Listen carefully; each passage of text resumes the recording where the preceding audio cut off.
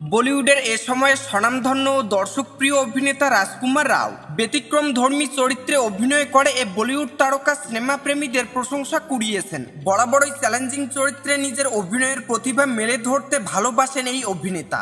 এবার তেমনই এক চরিত্রে কাজ করতে গিয়ে নিজের চেহারায় আমূল পরিবর্তন এনেছেন বলিউড অভিনেতা রাজকুমার। আর সেই চেহারার কারণে নেটিজেনদের টোলের শিকার হলেন জনপ্রিয় এ অভিনেতা। সংবাদ মাধ্যম টাইমস অব ইন্ডিয়ার এক প্রতিবেদন থেকে জানা যায়, নতুন সিনেমা শ্রীকান্তর কেন্দ্রীয় চরিত্রে অভিনয় করার জন্য নতুন এ লুক তৈরি করেছেন অভিনেতা। জানা গেছে, নতুন ওই সিনেমায় শিল্পপতি শ্রীকান্ত বোল্লার চরিত্রে অভিনয় করবেন রাজকুমার। রূপালী পর্দায় সে চরিত্রকে সুন্দর করে ফুটিয়ে তুলতেই চেহারায় এমন বদল এনেছেন অভিনেতা। আর এ কারসার্জি হঠাৎই প্রকাশ্য আসে দিলজিৎ দোসাঞ্জের কনসার্টে সম্প্রতি দিলজিৎ দোসাঞ্জের কনসার্টে রাজকুমার রাও উপস্থিত হন। আর তারপরে এই অভিনেতার নতুন লুক দ্রুত ছড়িয়ে পড়ে নেটপাড়ায়। তার নতুন লুক দেখে এরই মধ্যে নেটিজেনদের একাংশ দাবি করেছেন, সৌন্দর্য বাড়াতে কৃত্রিম উপায় অর্থাৎ অস্ত্রোপচারের সাহায্য নিয়েছেন রাজকুমার। তারা বলছেন, পুরনো ছবি আর নতুন ছবি একসঙ্গে রাখলেই স্পষ্ট হয়ে উঠছে পার্থক্য। সহজেই চোখে পড়ছে রাজকুমারের নাক, ঠোঁট, চোয়ালো থুতনির অমিল।